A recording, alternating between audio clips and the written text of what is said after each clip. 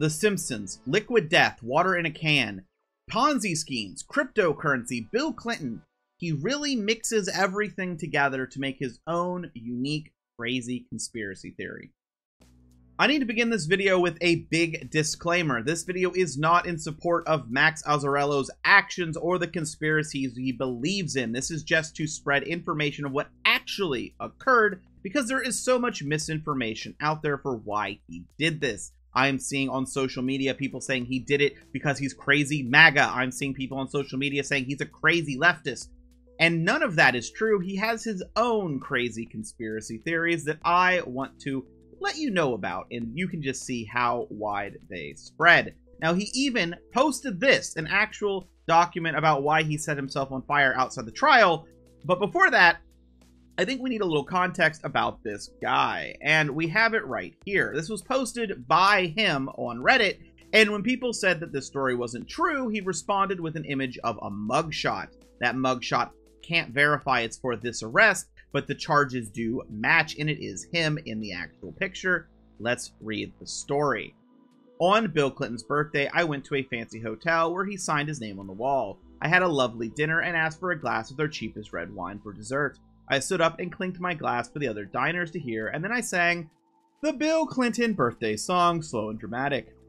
Happy birthday, Bill Clinton. Happy birthday, President William Jefferson Clinton. You blackmailed Governor Mike Dukakis and admitted it in your 1988 DNC speech because you were on Bush's side.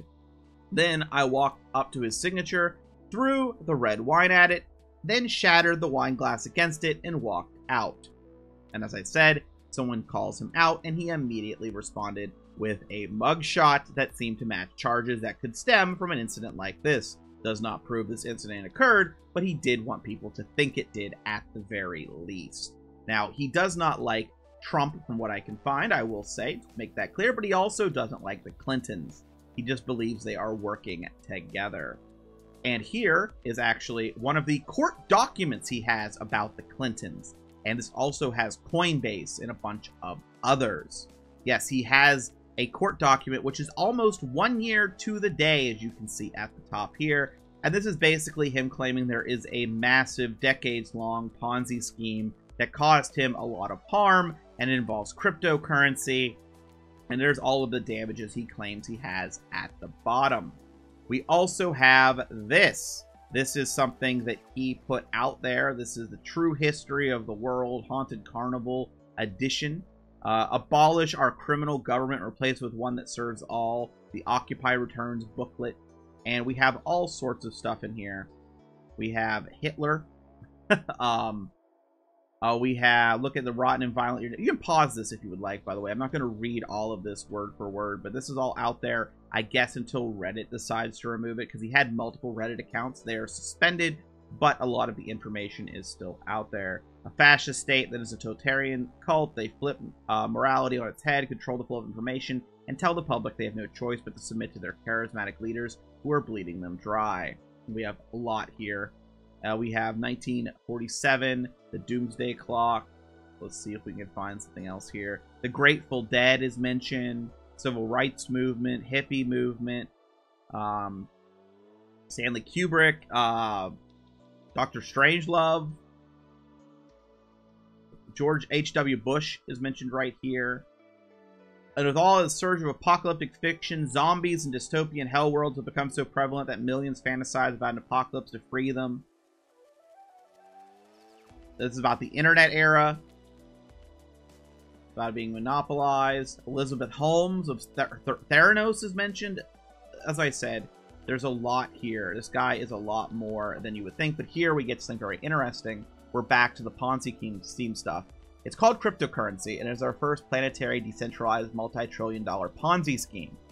It was created largely out of Stanford, Harvard, and Silicon Valley, and has the full backing of the U.S. government and many of its allies. The promise of a secure blockchain is a fiction. They built technology that allows them to securely funnel stolen cash out of the crypto exchanges through their companies and into their own pockets.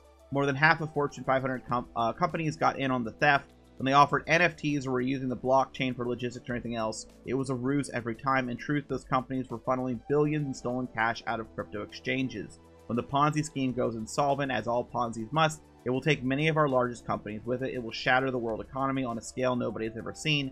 Cryptocurrency is quite literally an economic doomsday device built by many of our richest and most powerful people. And now, from our doomsday clock to our doomsday device, from highway to hell to canned water called liquid death, we reveal the rotten truth of it all. And that's why I really glanced over. I'm sure someone who was wanting a more in depth would be like, why did you do that? Why didn't you read all of it? Well, as I said, you could pause it, but it really is all tied together to him. A lot of conspiracy theorists do this. They will eventually just mention all of their conspiracies basically in a word vomit. And that's what he's done here. We have literally water mixed with highway to hell, doomsday device, cryptocurrency, doomsday clocks. We are in a Dotarian doomsday cult, and our doomsday clock is about to strike midnight. After spinning us in circles and dazzling us with lies for so long, our own government is about to hit us with an apocalyptic fascist coup nearly a century in the making. This is our great reset, our new world order. Again, more conspiracies just mixed into this. Yank the rug from under the American dream, and I would argue the American dream is a conspiracy in itself. That thing does not exist pull the rug out on the internet and throw us all into a violent state of emergency to rest for our lives so that world's worst criminals can hold total control indefinitely. When the public learns they are victims of the worst con in all of human history, we get to defeat fascism forever. I'm already seeing some people take this exact here. They're cutting down to just this final paragraph and saying, look, he mentioned fascism, so he's obviously Antifa. Which in the lightest sense of the word, being anti-fascist, sure. The Antifa, as people would call Antifa, no. When our entire life is a lie, the truth is our fascist leader's kryptonite. Small movement name with these tr- uh, truth-colored glasses will become a big one. So laugh defiantly and spread the news. The emperor has no clothes. If you share the story, you will bend history, and if you do it quickly, you can stave off the apocalypse. And there is a link to the Substack, and that's another reason this is included. He was handing this type of stuff out and showing it online, and that Substack is where I have the actual big document about him actually lighting himself on fire. Again, before we get to that, though, I do want to show you this one here. This one here is from April 15th. This is just four days ago. He has another pamphlet, as you can see here, but essentially this page is the pamphlet. This is what it's supposed to bring you to, so we'll just look at this. A brief guide to New York University's most criminal secrets. And a big thing is that, from my understanding, from one of the clips I saw, the police have mentioned him talking about a mob front. So this might be one of the pamphlets or the only pamphlet he actually handed out today. So this is actually tying into things that were said today. Um, we have a brief guide to New York University's most criminal secrets, political revenge killing, blackmail rings, Ponzi schemes, money laundering, criminal propaganda. They claim that students were killed with names here if you want to look them up uh, money laundering, cryptocurrencies. I'm doing some of the bold stuff here. It will shatter the world. Why Jeffrey Epstein attended. As you you see, it's a lot of combinations here. And again, you can pause at any point. You can slow the video down. You can go to the Substack yourself. It might survive. Secret fascist crime of the century. Uh, hope to clear that NYU is one of the many ruthless criminal organizations that shape our world. We are victims of totalitarian con. We've got criminals running so many Ponzi schemes that they've caused recession, like the Great Recession, the dot com bubble.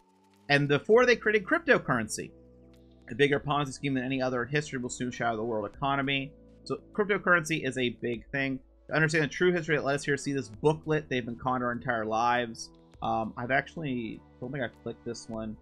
Oh, it's just going to bring you to the book that we just saw. So that one we just went over, uh, reading the URL. What should you do? So this is only just a few days ago, right? So what should you do? Investigate, uh, protest. We've uh, got a criminal government and a public has gotten wind of all their biggest secrets, laugh defiantly at history's worst con artists, air out their dirty laundry for all to hear. They tell us we're hopelessly divided, but they already know that the only threat to them is the informed public to see through the con. So this is like the criminal uniparty thing, I guess. Uh, conspiracy mixed in. And then we have his notes at the bottom that he added, uh, trying to explain himself. But it's been a while. Some of you probably jumped ahead, so let's just go ahead and take a look at there. This I'm probably going to read in its entirety, and it can take a while, but this was the last thing he posted. My name is Max Azzarello, and I am an investigative researcher who has set himself on fire outside the Trump trial in Manhattan. This extreme act of protest is to draw attention to an urgent and important discovery We are victims of a totalitarian con, and our own government, along with many of their allies, is about to hit us with an apocalyptic fascist world coup. These claims sound like fantastical conspiracy theory, but they are not. They are proof of conspiracy. If you investigate this mountain of research, you will prove them too. You learn a great deal about Ponzi schemes, you will discover that our life is a lie. If you follow the story and links below, you will discover the rotten truth of post truth America. You will learn the scariest and stupidest story in world history, and you will realize that we are all in desperate state of emergency that requires your action. To my friends and family, witnesses, and first responders, I deeply apologize for inflicting this pain upon you, but I assure you it is a drop in the bucket compared to what our government intends to inflict. Because these words are true, this is an act of revolution. Last March, a billionaire named Peter Thiel started a bank run on Silicon Valley Bank. I knew enough about Thiel that I found this incredibly suspicious. My hunch was that this was intentional, though I cannot fathom why. I began re- investigating online and quickly found cryptocurrency's fingerprints all over it. The bank run occurred just days after Silvergate Bank, which catered almost exclusively to crypto companies, collapsed. Meanwhile, several crypto cheerleaders were all over financial media warning of a regional banking crisis, and nobody in media was addressing the clear crypto connections. I dug deep into the financials of Thiel's venture capital from Founders Fund and eventually uncovered the following, all proven many times over. Cryptocurrency is our first planetary multi trillion dollar Ponzi scheme. It was expressly created for this purpose by a laundry list of rich and powerful people of Stanford, Silicon Valley, Harvard, Facebook. March 2023, bank failures were all intentional. The banks were used to move our out stolen Ponzi money. This signals they were no longer dumping cash in to keep the current cryptocurrency Ponzi afloat, and it will soon go insolvent as all Ponzi's must. When the Ponzi scheme goes insolvent, it will take down half the stock market with it. The perpetrators use uh, major companies to pipe into the blockchain so they could funnel money out from the crypto exchanges. This includes Google, Tesla, Apple, PayPal, Facebook, Disney, Walmart, Target, InBev, Zoom, and countless others. It is a Ponzi scheme so large it created global inflation, which is why the price of Bitcoin has been a remarkable leading indicator for inflation rates. Victims who bought crypto don't realize their money has already been stolen, so the money gets double counted by the victims and the criminals who stole it. As it turns out, our elites are awash in Ponzi schemes. Stanford StartX.com investment fund and Jeffrey Epstein's program for evolutionary dynamics he ran at Harvard are both fake science Ponzi factories that these schools have invested billions in. They are filled with fraudulent companies that use smoke and mirrors to promise miraculous new technology, but always collapse while the perpetrators only get richer. Funneling trillions of dollars in stolen and cash through the stock market created the largest Ponzi market anomaly in history. The stock market signature of a Ponzi scheme is a massive increase while they stack up cash, and then a massive fall as they funnel out the stolen cash. This chart shape appeared in all the companies listed above. In order to explain the massive anomalies, our criminal government unleashed COVID on the world and told us there were the stay at home stocks. So it ties into COVID as well. Of course it does. Ponzi schemes are vicious beasts, and cryptocurrency in history, large Ponzi by orders of magnitude. It can be best described as an economic doomsday device, intentionally made to shatter the world economy. The U.S. government is fully involved in the Totarian con. To illustrate its bipartisan support, I'll note that nearly every participant of the Clinton Global Initiative has ties to cryptocurrency, while two of the biggest tech VCs who participated are Trump associates, Josh Kushner and Anthony Scaramucci. Went too far. To better understand our form of government, I will point you to one of the most astonishing pieces of standalone evidence I've found Arkansas Governor Bill Clinton's 1988 DNC speech, which he nominated Mike Dukakis for president against George H.W. Bush. The speech is vile, mean spirited roast of Dukakis that makes no sense whatsoever. For Clinton to ruthlessly attack a member of his own party should have been political suicide, and he repeatedly mocked Dukakis' noble and earnest qualities. Notably, actor Rob Lowe, who was supporting Dukakis, was victim of a teen sex blackmail operation at the DNC that year. Since we know Clinton is a close associate with teen sex blackmail artist Jeffrey Epstein, we can uh, suddenly make perfect sense of his nonsensical speech by applying this lens. Bill Clinton is a cocky mob boss who blackmailed Mike Dukakis because Dukakis thought his job was to help the public teasing out the future uh, public revelation that Kitty Dukakis drank rubbing alcohol and offers a strange anecdote about the crack epidemic that reveals he is an extremely proud drug runner. What does this revolution tell revelation tell us? that our government is conning us completely, that Bill Clinton was secretly on former CIA Director George H.W. Bush's side, and the Democrat versus Republican division has been entirely manufactured ever since. Clinton is with Bush. Gore is with Bush. Trump is with Hillary, and so on. Weird he stopped before Trump is with Biden, though. That's weird to me. Just side note. Biden hasn't been mentioned that I've seen, um, but maybe I'm forgetting. I've read quite a bit of this before I made the video, like other documents as well. When they present themselves in public, they're acting as characters that are against one another, practicing kayfabe as wrestlers do. As it turns out, we have a secret kleptocracy. Both parties are run by financial criminals whose only goals are to divide, deceive, and bleed us dry.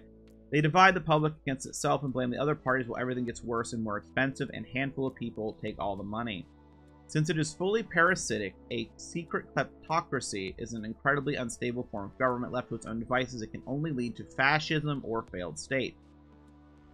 One of the key findings of this research is that Harvard University is one of the largest organized crime fronts in history, which is how they churn out billionaires. It's a major hub of the sprawling criminal network.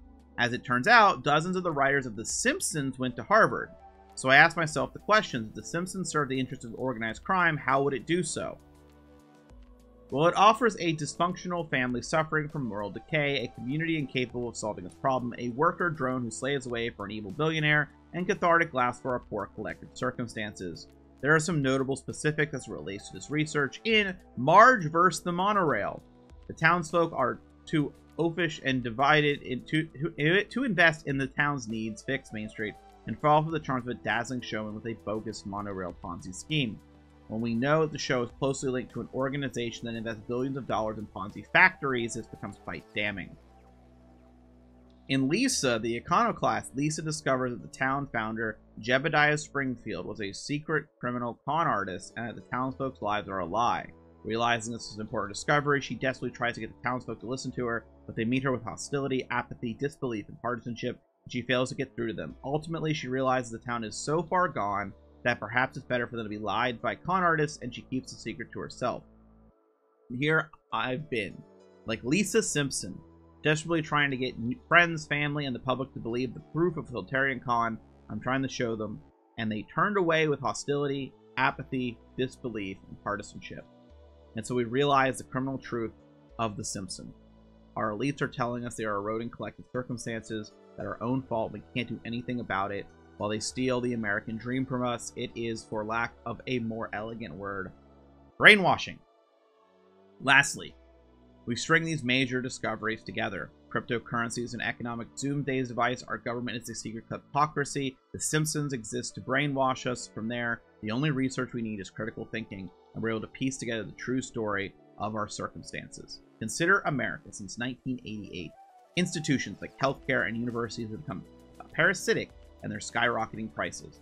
News media tells us to be angry, tribalized. Daytime television warns us of moral decay. Local news tells us to fear our neighbors. The Simpsons tells us we're too oafish and divided to save the American dream.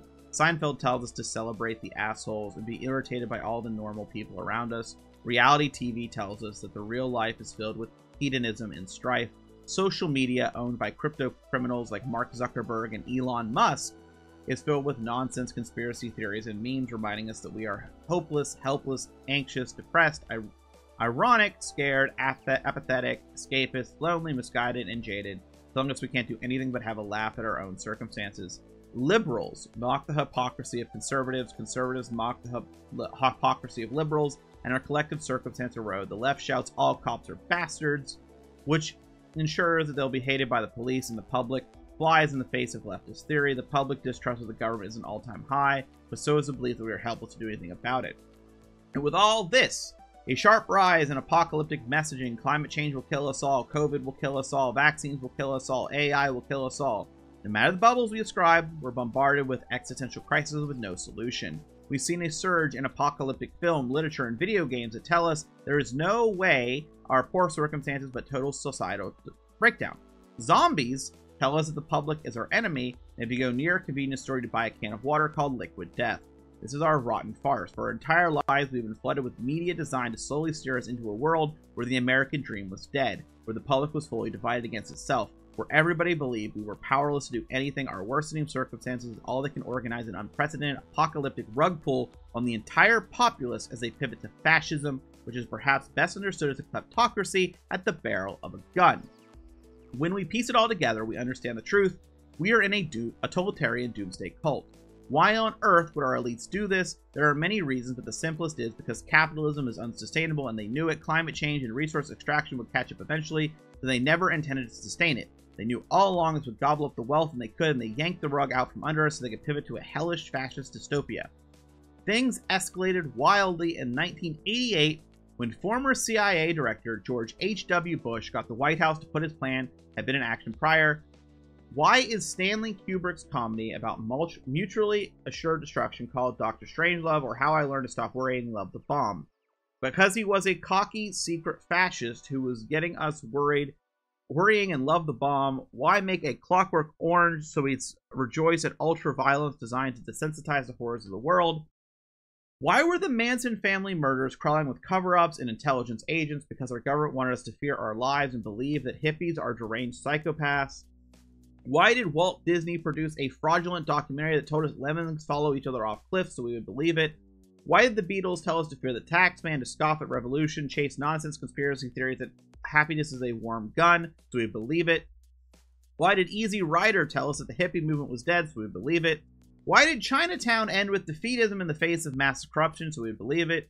Why did George Orwell tell us of a hellish future of totalitarian control that we are powerless to stop so we believe it? Why did Wall Street tell us greed is good so we believe it? Why did Do the Right Thing tell us we're radically tribalized so we believe it? Why did The Simpsons creator Mark Groening make a comic strip called Life is Hell so we would believe it? And on and on and on. And when it comes to any popular media, if you ask yourself the question, why would secret doomsday cult kleptocrats want the public to consume this? You will find your answers. This is obviously very bad news, but the biggest lie I've been told is that there are powers who got one way out of this hell world is for the public to realize that we've been conned completely so we can build a united movement that shatters every lie they've told us, mocks this rotten farce as loudly as it deserves, and aims at nothing short of abolishing our criminal government as we build one that serves the public. To understand this story is to see right through the con, to become immune to the endless sea of criminal propaganda, and to feel the great joy and power that comes with freedom. If a small number of people quickly put on these truth-colored glasses, we are in for an unimaginably bright future. If not, we get an apocalypse. For more information, I put together this booklet. Let me see which booklet this is. We've already covered this booklet, I believe. If not, I'll add it to the end of the video. That includes other major findings and a map to a sea of proof along with the other essays on this site. The true history of America since the end of World War II, see here. Yeah, he's got a whole page for that. I think I think we've seen that though. To see its discovery unfold in real time, along with further explanation, hundreds of pieces of evidence not covered here. Advice, inspiration, political theory, and the heart and soul of a man escaping history's largest doomsday cult. See my Instagram story. I'm assuming that's going to be gone by now. I apologize for leaving things so scattered, but this has been an exhausting affair. So long as you understand the true ideology, you'll to learn the whole story. Here is a federal lawsuit. I already covered that. I filed against dozens of perpetrators of the cryptocurrency Ponzi, not for litigation, but just to preserve the information attached my name to it. I was terrified I hadn't slept in days, and it shows, but it serves the purpose of keeping myself alive long enough to keep learning and telling the story. I no longer have my original research files from the crypto rabbit hole. If you want to see them, you'll have to get my laptop back from the government. Ask them how they got it. It's a very funny story. I hope you know how powerful you are. I wish you a hell of a lot more than luck. Max Azzarello. And that's where he ends off the ramblings. And as you can see, it just combines everything together into one nonsensical blob. Literally water in a can combined with The Simpsons combined with cryptocurrency. And the, the reason I made this video is because this is just insane.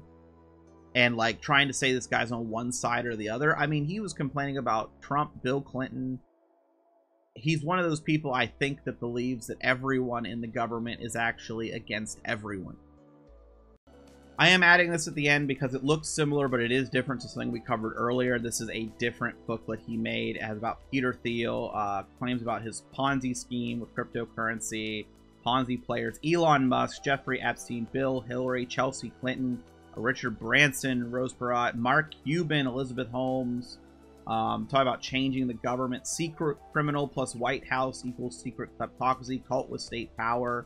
Uh, more about Bill Clinton there Uh, Budweiser and Target pretended to have wildly successful anti-trans boycotts. Um, QAnon, Pizzagate are examples of this nonsense. So they're literally high. Like he, at least he knows those aren't real. Uh, and there's the Simpsons evil brainwashing. Uh, Harvard University super crime school. Haunted Carney meme pages. Um, truth about 9-11 covid like it, it, as, as i said right there at the bottom it says is everyone in on it? That's kind of where he's at right?